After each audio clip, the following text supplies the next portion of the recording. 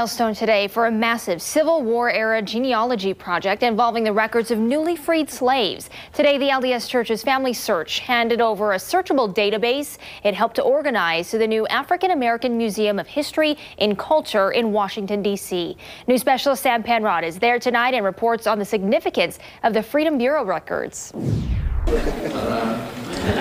With a small memory drive filled with the names of 1.8 million African Americans from the 1860s, which contains the Index Freedmen's Bureau records, which we're now honored to give to Lonnie Bunch and the National Museum. Elder D. Todd Christofferson of the Quorum of the Twelve Apostles formally handed over the indexed records to the new African American Museum of History and Culture. The handwritten records were compiled following the Civil War when slavery was abolished.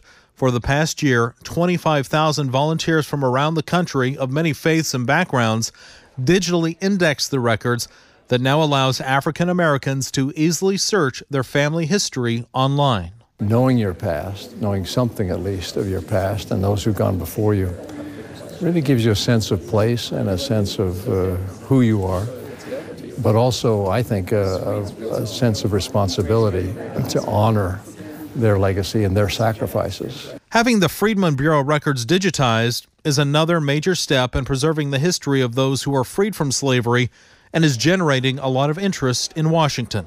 History is important to the Congressional Black Caucus, and so I think that this is an opportunity for, for them to really be involved and, and find out about their families, and it's really exciting for them.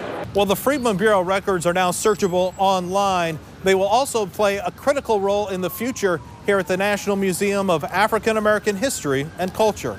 We haven't been able to dig into the records to the depth that we've needed, and this project will make it possible. The Smithsonian has joined in the process uh, in terms of uh, sponsoring a project to have the records transcribed so that they can be researched even better than just by indexing. Family Search helped to facilitate the indexing effort and believes it opens the door to help many more families find their roots.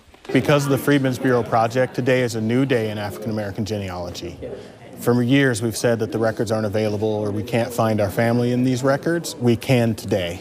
And it's because of the Freedmen's Bureau project, the indexing done by thousands of volunteers, that we can now move forward in our genealogy and connect our families. Preserving the past for future generations.